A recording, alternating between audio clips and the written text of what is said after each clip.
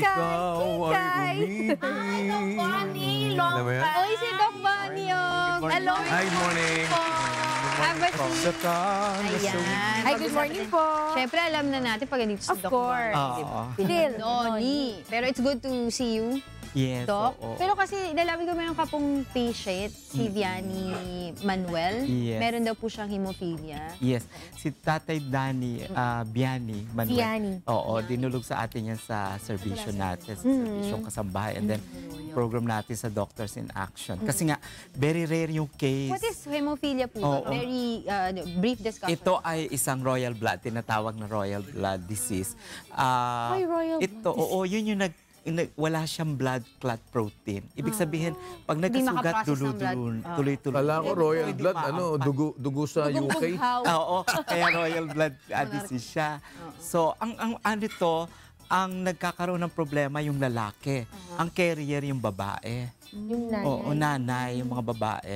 Pero mostly yung lalaki. And tinutukan natin kasi very rare sa Pilipinas na meron. Parang dito pinag-aaralan lang tinitan. Pero we found out na isa si si Ta- Daddy Biani na meron. Tapos Paano yun, Doc? Parang kung wala siyang prothrombin, ganun. ah, Ah, wala po siya, yes, pa, factor Hindi 8. makaprocess ng Opo, ano, so wala siyang blood protein o wala siyang blood clot protein. kasi yun yung para prothrombin na ginaga, na, nagka, ano, ng clotting, di Yes ba? po, oo. Ah, So pag nasugat ka, ingat na ingat Tuloy-tuloy. siyang Si Doc- masugat kasi Oo. Kasi tuloy-tuloy tuloy-tuloy yung dugo. ang So, bleeding. Oo. kung ako, meron ako niyan, uh, does it follow na lahat ng anak kong lalaki? Ah, Kakaroon. hindi naman. Okay. Pero we found Malaki out yung risk also, sa- yung apo niya na 13 years old, meron na Na rin. nagja-jump Magaling ng nga ano. Oo, so parang parang Oo. yun ang tinitingnan namin. So, maliban doon sa Prot- pasyente de tinulungan. Kasi nagkaroon ng mga complications. So, hindi naman natin sinasabi na Iphelnoni for, for hemophilia talaga. Kailangan mabush yung immune system. Meron kasi siyang mga complications like yung mga buto sa gout. Nagkaroon na siya ng gouty arthritis. Tapos hindi na siya makatayo kasi talaga yung mga buto talagang hirap Diego, na. ikaw ba yan? Lahat ng joints. Tapos, yung pinaka-immediate na tinulungan din natin ng Philnoni is the mouth sore niya na talagang oo Nada- napuno na yung bibig oo, niya. kasi sugat na talaga yung roof even yung dila niya violet So you can na. say kapag kami hemophilia yung isang tao, parang bumababa din yung immune system. yes kaya napakababa. nagkakaroon ng Oo, complication. oo, oo, complications Kailan, yun na, kailan kayo nag-start? na Parang ano gamutin? to, inilapit yan sa atin sa ka- ano serbisyo ng ah, December. Oo, 20. So yung mga blood uh, deficiencies na ganyan, Doc, pala, Mm-hmm. pwede rin ma-i-address ng ano, Philnoni. Yes, opo. Kasi merong, ah meron kasi yung, um, napaka-importante sa Pernoni, meron siyang preseronin, yung isang enzyme na Which is? precursor siya to for cell regeneration. So yun ang maganda nakita. Kami nung immediately na pinainom ko siya 30 ml, para lang yung source. Kasi hirap na hirap siyang lum lum- Kumain. kumain. Very dry. So talagang ganun. Tapos ah, mga less than 30 minutes nga nakita yung violet niyang na dila talagang after less than 30 minutes na talagang nag ah, nag-subside. So yung yung ay, yung pangkakagayan, di pa meron Yes. din deficiency sa ferritin ba yung tawag nila? Apo, apo. Ah, pwede din yan makatulong doon. Yes po, kasi kailangan lang mag-regenerate yung, yung, Yung sa kasi blood. yung blood cells naman po yun eh. so Ah. para mabilis yung mga plasma regeneration. So paano nyo po pinapainom ngayon yung Philnoni na pa- anong dosage niya? Ah, dito po kasi Pag may ganun, para may problema na Oo, ganun. kung blood na yung ano tapos yung sugat mabilis, nagti three times a day kami na dose. So yung yung Na 30 ml. Yes, 30 30 ml This is, every ah, before meals. So, oh. so ngayon Kailangan ba talaga may meal, Doc? Ah, Ah, pagka after 30 Kasi minutes. pag- Kasi ako ang nag-experience ko, pag halimbawa uminom ako Mm. noong ng 30 ml, pag, pag- tapos hindi ako kumain, meron akong nararamdaman na ano, parang Gutom na gutom. hindi, may may kakaiba eh, may kakaiba sa tiyan mo na parang Mm. ba't ganun Sabi parang niyo bumababa yung ano, parang sugar. sinisikmura ka na di mo maintindihan. Yes, so kailangan kasing kumain after 30 minutes kasi nga, Ayun. syempre nalilinis yung yung yung lining ng intestine. So bumibilis yung metabolism. So you can you need to eat talaga after. Oh, I see. So mas effective siyang ganun. So maganda lang kay ah, Tatay Daddy. Biani kasi yung yung mga complications medyo na-address natin. Although hindi naman diretso yung sa hemophilia agad, but ang isang tinutulong natin is part noong partnership sa kanila is ah, to support kasi hindi pa nare-recognize yung hemophilia na sakit as Mm. rare disease sa DOH. Kaya hirap na hirap din sila So, makakuha. wala pang direct na treatment. Yes, so immediately yun lang binibigay natin kasi hindi rin siya makatake ng mga antibiotics and Ah, capsule kasi may nagkakaroon ng complication reaction. So the best na nakita natin among the yung regimen yung Pilnoni, tapos okay sa kanya kasi iniisip ko, sabi ko baka magkaroon na mahapde or kasi pinagargle ko sa kanya kasi para yung roof umabot. So hindi naman. So maganda maganda So, effect. So tuloy-tuloy kami. Yeah, nag enjoy Even sabi nga namin kahit yung yung kanyang apo na 13 years old ay ma- ma-extend yung use ng Pilnoni. Yung sa apo niya, wala pang complication. Meron, Meron na rin, 13 years Oo, old. oo, kasi may mga gouty arthritis. So, paano na. po yung pag-inom naman ng 13 years old? Ah, sa kanya, pinasusubukan pa lang namin at least. Pwede naman sa kanya yung 30 at least once a day. Once a day. Para ma- ma-improve lang, of course, yung regeneration ng, ng blood plasma. Kasi nahihirapan din sila mag-import ng factor 8. Yun lang kasi ang nagagamit, eh abroad yun. So kung walang, halimbawa wala pang hindi pa available, hindi pa recognized, hirap na hirap sila.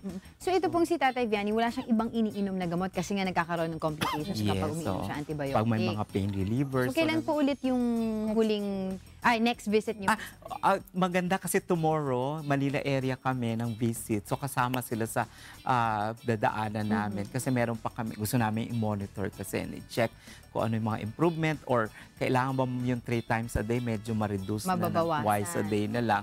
So para ano, and then of course yung mga ah, ano bang na-improve din doon sa mga complication like yung gouty arthritis kasi may anti-inflammatory.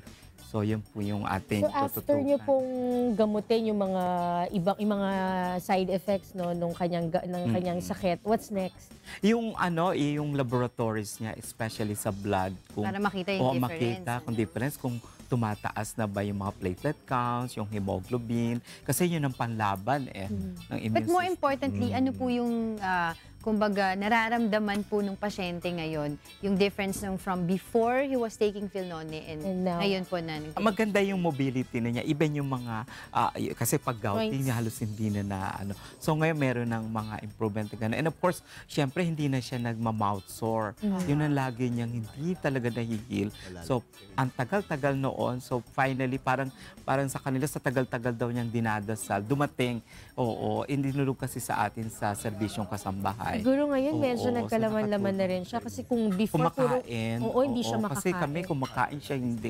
Kasi ngayon ang problema niya.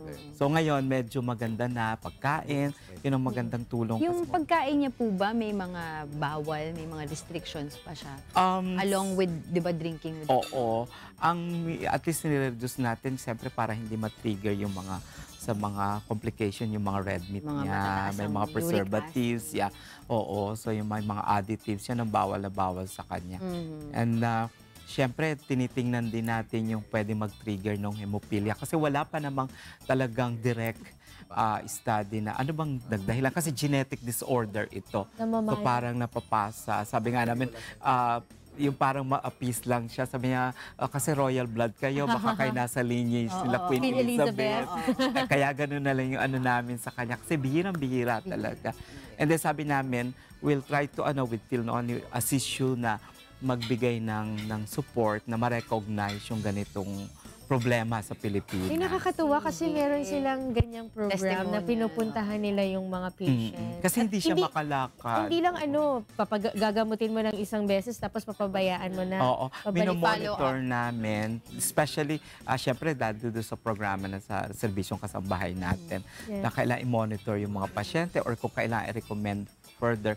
Ngayon nga, meron kaming isang regimen na maliban doon sa supplementation ng Filnoni, ah meron kaming nakikitang partnership na pwedeng suggest. Kaya tamang-tamang tomorrow drop by kami para pag-usapan. Oo, oo. Good, Kasi good. medyo rare itong case Oo na to. po eh. Pero at least ang maganda lang dyan, immediately yung Filnoni na nasama dun sa regimen niya na pumwede. Oo. Oo, sa tagal ng panahon ni Daddy Biani. Oo nga. Alright, so we will still keep in touch Yes, para po oo, malaman natin, yung yung update Daddy doon Vianney. kay ah, Da- Daddy Ma'am, Manuel. Tapos, uh, saan po ulit namin pwedeng ma- makuha, ma-avail ang uh, Philnoni? Ah, yes, available sa lahat ng ah, Mercury Drug Stores yung ah, ating Pilnoni tsaka sa ibang mga distributors. Mm-hmm. And of course, sa clinic namin, available siya dito sa Shaw Boulevard and then Cavite. And soon, malapit na kami rin mag-service ng Lemery, Batangas. Ayan. At Sa saka paalala lang natin, Dok, hindi lang yung mga may sakit ang pwedeng mag-take nito, Yes, minom nito, oo. di ba? Kasi ano siya, ah, food supplements Food o functional ah, food